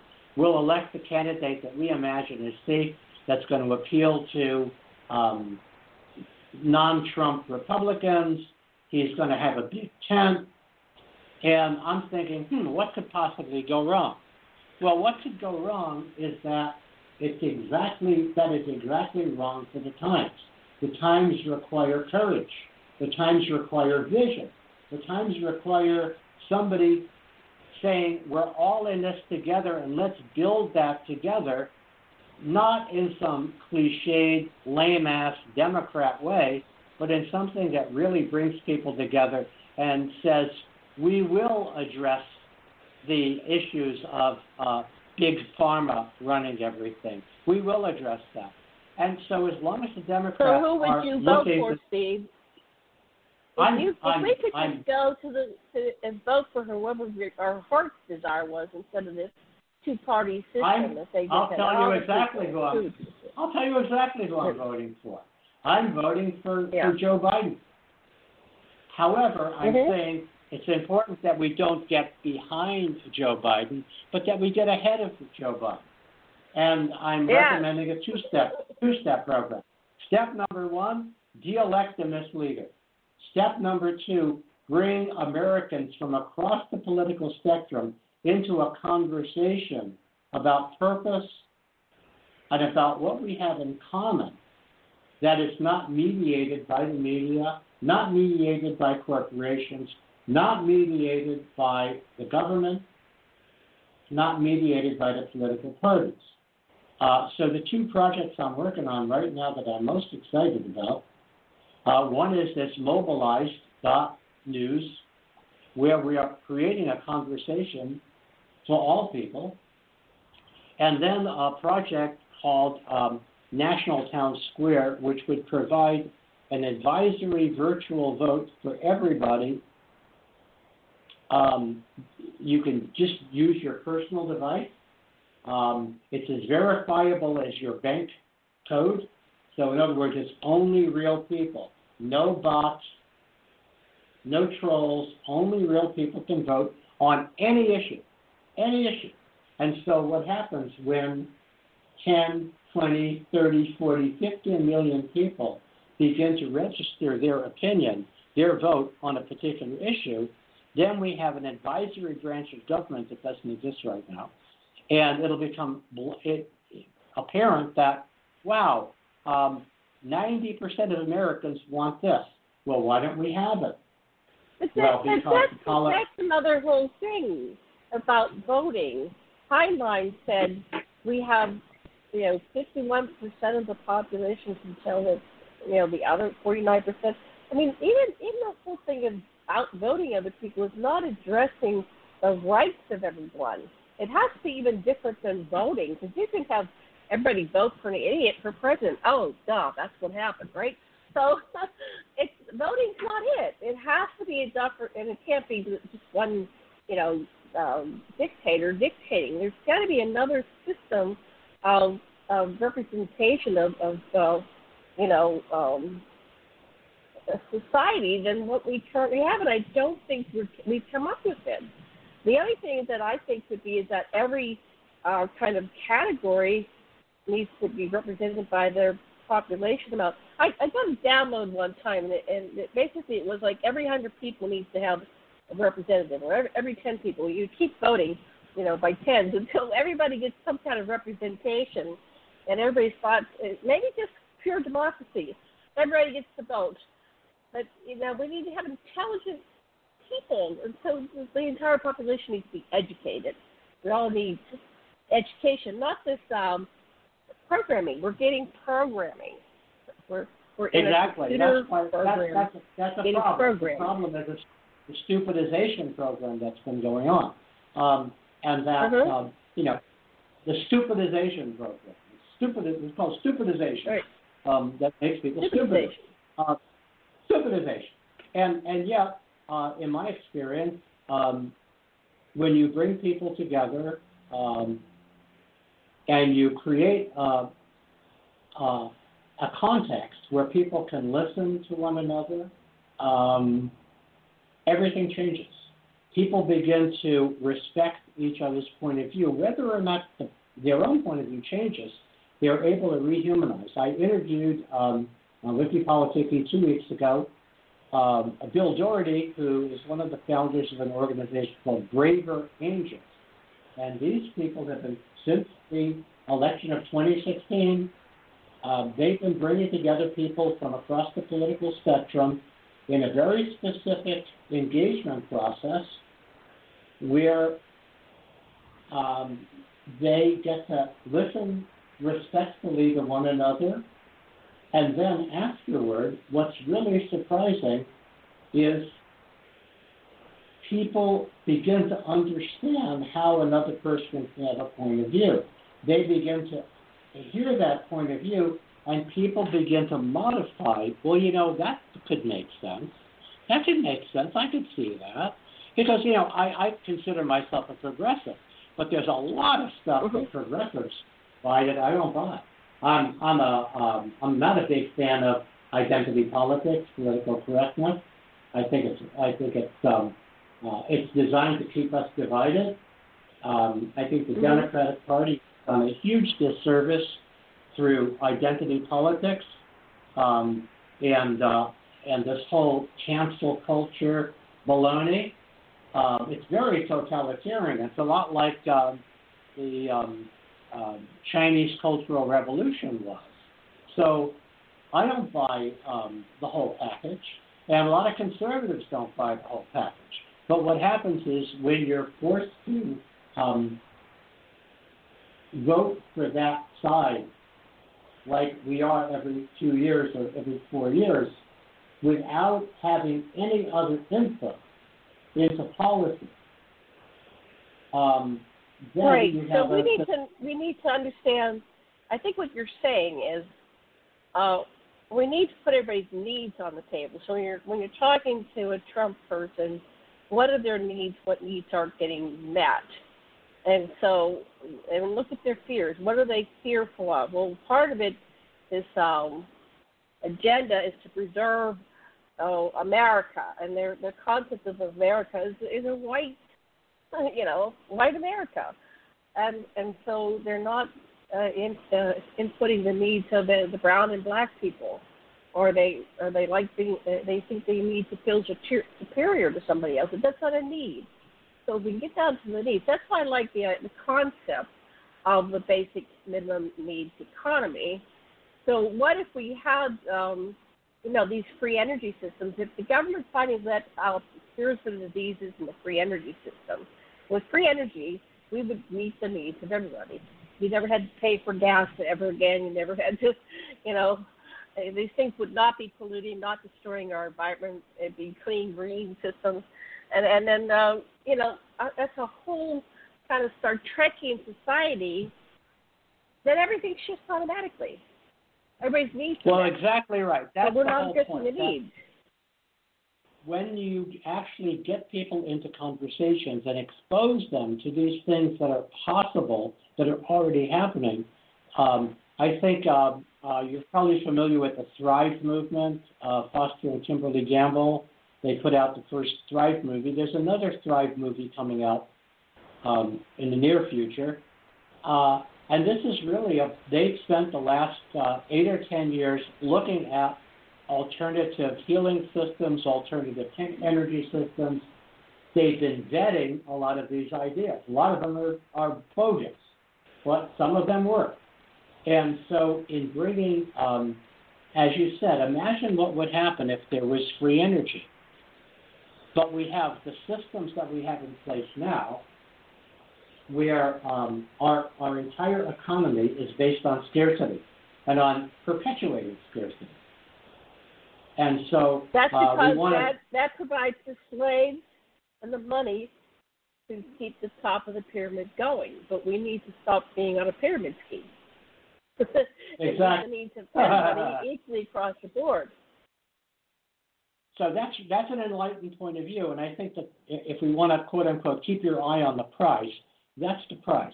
The prize is not so much where we disagree about, but what do we all have in common? What do we all want? So my it's kind of a jokey way of saying, but I have what I'm calling the great upwising, where we wake up, wise up, grow up, and show up. We wake up to the illusion of Mhm. separation, and we've been divided and conquered we wise up to the power of love. We wise up to the power of coherence, of focusing on uh, common good, common wealth, common interests. We grow up to from children of God to adults of good. We become sovereign soul, S O U L, proprietors of our own destiny.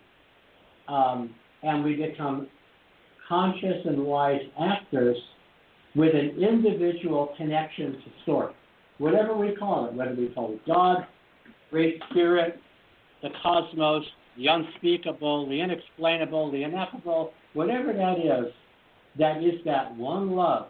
We have our own connection to it, so we don't have to get it from out there. We're not hungry ghosts getting it from out there.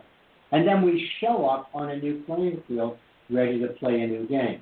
Instead of identity politics, we focus on the identical issues that we all have clean air, clean water, clean food, clean government, and creating a world where our children can have can instead of being in um, competition uh, in the old form, are competing in the Greek sense of competition, which is striving together to do their personal best for the betterment of each and all. I love and it. that's I love it. that's the I that's where we're going. So the the Bible says where there's no vision the people perish. Where there is vision, I say the people thrive.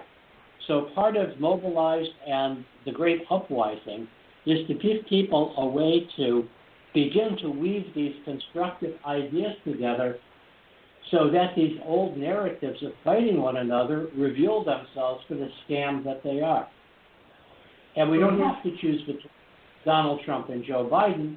This is a transitional time. My hope and prayer is that um, we de-elect Joe Biden, we de-elect Donald Trump, and Joe Biden is kind of the um, the placeholder during this four-year period of time where awakening conservatives and progressives, the populists and the progressives, come together for the first time in a hundred years since the farm labor movement a hundred years ago, and begin to recognize that the one common enemy is the very, very small percentage of oligarchs, whatever you want to call them.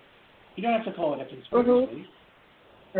It, it's a, it's blatant. It's happening out there. You, you know, you don't have to say it's a conspiracy. It's true. So what is the need of the rich? What is going on with the need of the super rich that they they they feel they need to be better than everybody else and have more. It's greed. What is greed? It's a mental illness. Hoarding it's mental order, uh, illness. They're they're hoarding. You know, and, and if they were to just put you know one, two, three percent back into the population, everybody would have all their needs met. We'd have food, clothes, house, housing, education. We'd have a very high civilization if we started to really educate you everybody. Know, PhD all I want to present a, a misconception. A misconception. What's that? Greed. A, a misconception. I call I call what we have the old needy needy greedy. N e d y g r e d d e y. Needy greedy. That greed Uh-huh. pervades humanity from from the poorest to the richest, and that we are all taught scarcity. And whether we're on the Mhm. low end of the totem pole uh, and have very little, or on the high end where we have too much, it's the same disease. Uh, Lynn Twist, um, who um, is written and uh, who has been working with people for almost 50 years, um, working with with wealthy people to help them redirect their their money to help them turn their guilt and shame and defensiveness into ways of using their money to have great impact in the world. Yeah, but that a just, that people- just feeds their their egos when you go into this. Um, that they they get to hoard their wealth and they get to decide, you know, where they're going to give it to charity. That's just nothing more than creating these monsters. They just need to pay their. If they would just pay their fair share of taxes across the board, we as a society, a global society, would have more than enough money for everyone. But that's been the strategy since um, uh, what's his name? Um, you know, trickle down guy, um, Reagan, to just keep feeding the top because and trusting the top is going to be generous and but no, that's just feeding their egos. We've had 40 years of that. It doesn't work. Well, well, yeah, Yeah. I think that I think that the philanthropy industrial complex is one of is is a uh, kind of a um, an unsung, unidentified evil. That you have an entire, you know, if you look at the Gates Foundation and all of these things, they're making a lot of money. They've become a lot wealthier through the Gates Foundation because of what nonprofits can do. And there are quite a few people who you would consider in the one percent and the top, you know, top, top, top percent, who say, yes, we should pay more taxes. Yes, we voluntarily, we should pay more taxes. We should change the laws. And Well, why don't they also- just give it to the, the, the give it back? Have a system where they can give it back to a common pool, which will meet the basic needs of every human being alive. No one needs You know, to starve and, and be homeless. That's step one. It's happening. There is a, a, I interviewed a guy, I'm not remembering his name right now, but he um, was used to work in the collections industry. And he and a few other people who got tired of collecting money from people who had maxed out their health care and were going bankrupt created a fund to buy medical debt at 10 cents on the dollar. And they've liberated a lot of people from medical debt through people putting their money into this 10 cents on the dollar, buying medical debt and liberating people from um, forever in the poorhouse. Now, it's actually the system that has to change. It's the fundamental system. And uh, here, here's a, um, the uh, Financial Freedom Act. Um, Scott Smith, another guy I interviewed. By the way, if you go to Wiki Politiki, W I K I P O L I T I K I. Wait, you, you're getting a little bit muffled. Can you speak into the mic a little bit clearer? You're starting, you, you yeah. do it and Uh, out. you go um, to if you go to Wiki Wiki Politiki, W I K I P O L I T I K I, wikipolitiki.com. I've interviewed lots and lots of solutionaries, and one of them is named Scott Smith. And he has been in the financial industry since the 80s. He was one of the people who um, uh, helped create, um, restore the financial system after the um, uh, um, uh, uh, housing scandal uh, in in the 80s, um, and then he he was uh, worked for Nelson Mandela to help them create their money system.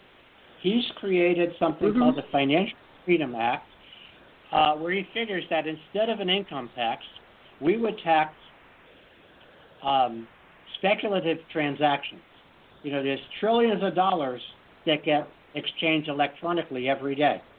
And if we uh, right. tax it just like a very, very, very tiny percentage, we could raise five times the money that we are raising through taxes right now. We could eliminate the income tax completely. We could allow uh, free health care for everybody. Uh, we could pay off our national debt and we can provide a guaranteed income of $24,000 for every American. That would eliminate the welfare system, Sign which is up. a dis- it's a disincentive system. Yeah. So basically, imagine imagine you're getting twenty-four thousand dollars a year, and you can earn as much as you want. You don't have to. You're not penalized if you take a job. And so what happens is everybody it, it, it brings out the best in capitalism, it brings out the best in socialism. It ends the argument between capitalism and socialism. Everybody's taking right. care of. Socialism. Anybody can make that's as much why I as they was want. going to vote for um, Andrew Yang, who had part of it. So, so these systems are out there. So what we need to do is educate, put those out on the website. Here's the system, and have a vote for it. Because if it would meet all the needs of the society, then why not do it? You know, there's so then you're looking at people. Uh, okay, they're not going to work. That's your argument. Well, they won't work. No, people are going to work for luxuries. Their needs are going to be met, but they're going to want to. They're not going to all want to have, you know, like a, a flip phone. They're going to want to have an iPhone, right? They're going to want to have a big screen TV. They're going to want to have a, a you know, a nicer house. You can basically meet. Right now, we've got all these abandoned buildings. What are we going to do with all these malls? You could turn those into apartment complexes really easy, and know, solve the homeless problem here fun. in Maui. Huh? You know, you know what's what's really funny. I mean, it's that it, there's a joke here, and I'm sorry that I haven't been so funny today, but this has been an important No, conversation. I, that's fine. We, we had to, yeah. It's vex, I love it. It's vexing everybody. Uh, but the joke is, um, uh, I, uh, I, I go, I know what you're thinking. I'm proposing a sane world. I must be crazy. Um, everything is insane. Everything is insane. And so what we have to recognize is that sanity, the name of, we have to go sane together. We have to bring people um, away from these divisive narratives. I know we have an election coming up. I know how I'm going to vote. I know where my wishes and prayers are going to be. That we um, that we take out the cancer that we that is in the body politic. However, Yes. in order for the next thing that we have to do is we have to bring the people of this country together to educate one another, self-educate. Um, Joseph McCormick, one of my great teachers, um, trans, uh, conservative, Republican, uh, transpartisan activist, um, who ran for Congress in uh, as a Republican in Florida, lost the election, went through a dark night of the soul, wound up in a cabin in um, Floyd, Virginia. He was adopted by a band of hippies, and uh Uh-huh. he had, you know, father told him, you know, pointing to the demonstrators. His father told him, "Those people hate America." Well, he found out that they didn't hate America. He had an epiphany. I think he had an epiphany, if you know what I mean. I think he had an epiphany. Mhm. Right. And uh, Give me I a puppy. Yeah. his mission, epiphany. You know, his mission was to reunite America. And uh, he brought together, this Mhm. is in the mid 2000s, brought together leaders, Sierra Club, Christian Coalition, MoveOn.org, Grover Norquist, all of this. And in this retreat, um, Joan Blades from Move On, um, Michelle Combs from Christian Coalition, they became friends. They became friends.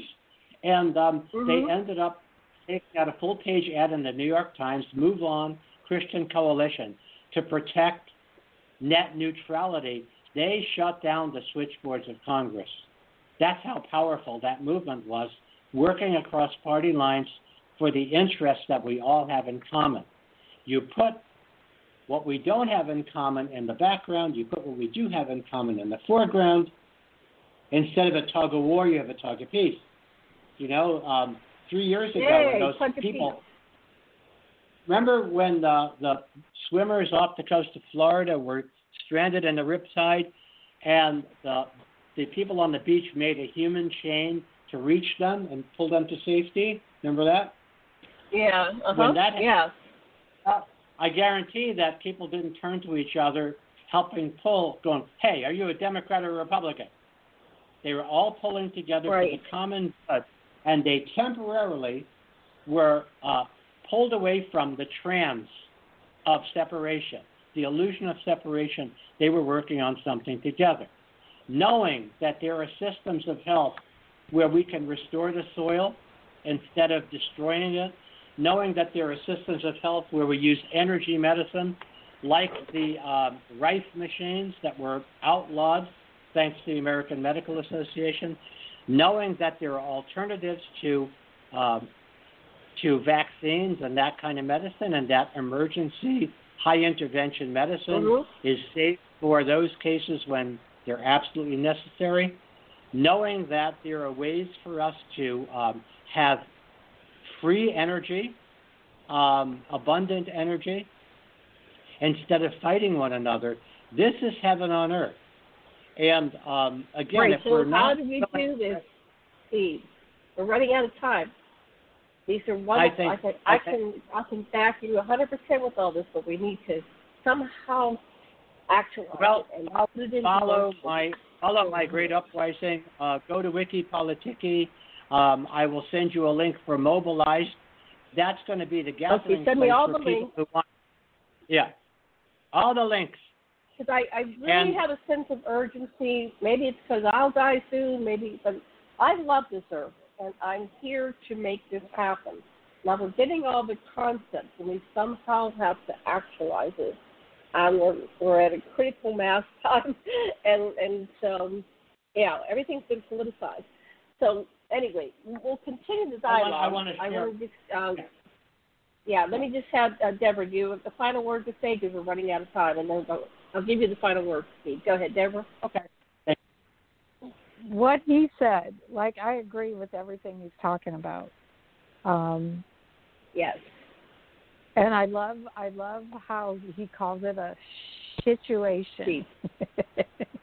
Situation. Yeah. We're in a major situation, Yes. and that's it. And that's it. And- okay. So Steve, We're in a situation, and the way out, the way out is for us to make bridges to people that we uh, we don't think we like. Um, there's a great movie to watch. Uh, watch um, Accidental um, Courtesy. It's about a black musician who, over a period of 30 years, befriended members of the Ku Klux Klan, and uh, he had. oh, I saw that. 30 or 40 robes hanging in his closet of people who gave up the Klan because he was able to hear them. Right, and and I guess they want to be listened to. That's part of uh, active listening. It's like people want to be heard, empathized with, understood. That's why we get down to the needs, and then we can, if we meet the needs of the planet, and then we can meet the needs of the whole planet and have a planet to live on. Okay, uh, your website one more time, and then uh, we're going to be out of time. What, what Wiki, your Wiki. W-I-K-I, Wiki, Wiki Politiki, W-I-K-I, P-O-L-I-T-I-K-I, or wakeuplaughing.com. That's the funny website.